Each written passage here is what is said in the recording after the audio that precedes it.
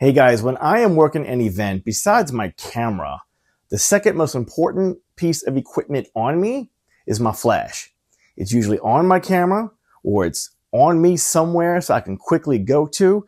But most importantly, does this flash keep up with the camera that I'm working with? And also, does it allow me to be creative? Well, in this video, I'm going to talk about the Godox V1 flash. This flash is simply amazing. Hey, Fuj, show that B-roll, bro. You got it, bro.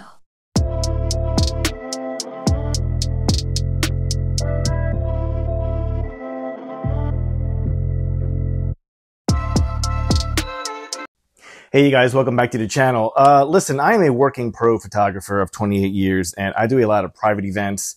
I do a lot of commercial events. You know, I work with a lot of different people, and mainly when I work with other videographers, um, something that has changed in our industry is that the more these cameras are of a hybrid style, um, we're doing more video with photography, but for me, what that means is I understand a lot better, a lot more of what that videographer is going through um, when he's shooting, when he's editing. So I love working hand in hand with whoever I am working with, you know?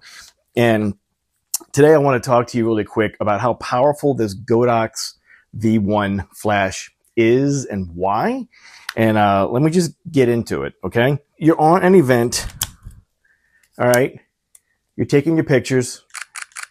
You know what I'm saying? You're doing your thing. Your video guy is here. You're in a dark room. And you know what I can do for him? Because what's always nicer with lighting is when it's coming from somewhere other than your camera. Because when it's, you know, just the light coming at you, it's flat, you know, which is fine in a dark room. Turn it on. You keep working. What's neat is when I'm right here and my videographer is, you know, over there what I can do on this guy is turn on the LED. So when I'm working and I'm taking pictures, all right, this LED being on is also helping him side light in a second way. Isn't that cool? And it's variable. Isn't that cool?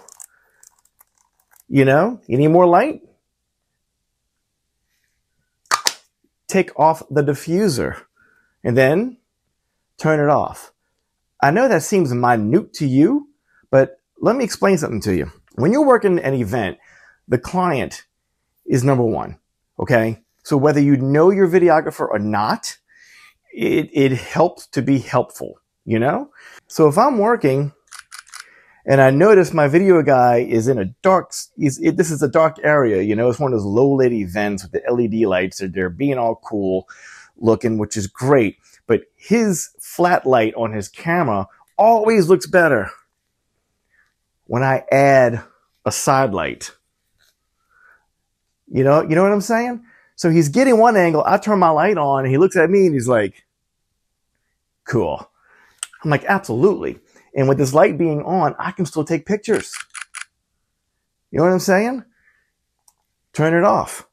Now, here's the other thing. If you work events, if you're like me, I always have like some small LEDs in my pocket, especially on weddings, you know, because I like using two little lights for all my detail shots, which is really neat. Um, if I don't have those on me, dear Lord, man, just turn that sucker on, take this off. And now I have a light source that I can vary. Isn't that cool? You know, and I love this spotlight. Can you see, let me see if I can lower this real quick. Can you see that little LED right there? You see that little bulb down here? That's where the light is coming from. It gets diffused because of this and because of this. Okay?